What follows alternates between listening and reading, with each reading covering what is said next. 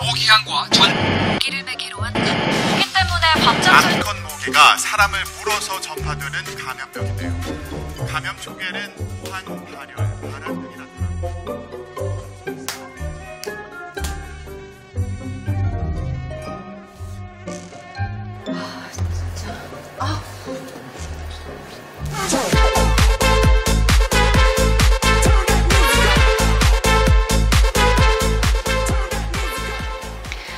아파트의 모기 발생 도대체 어디서 나타나는 걸까요?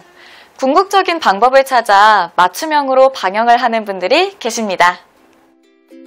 노원구 보건소는 하절기마다 모기로 인해 발생하는 불편사항과 감염병 우려를 줄이기 위해 공동주택의 특성과 기후환경 변화를 고려한 효율적인 모기 방제의 필요성을 느꼈습니다. 이에 따라 2023년 6월부터 2024년 3월까지 9개월간 노원구의 공동주택 300세대 이상을 대상으로 모기 발생 방지 맞춤형 컨설팅을 제공할 예정입니다. 먼저 방역기 동반 두 개조가 공동주택을 순회하며 아파트별 집수정, 정화조, 하수구 등 모기 발생 원인을 진단합니다. 이후 그 원인을 차단하는 맞춤형 관리 방안을 제공하는데요.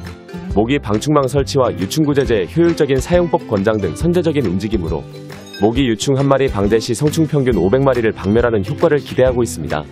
결과적으로 공동주택의 위생 해충 관리 능력을 배양하고 각종 불편사항과 감염병 우려를 감소시킬 수 있을 것으로 기대합니다.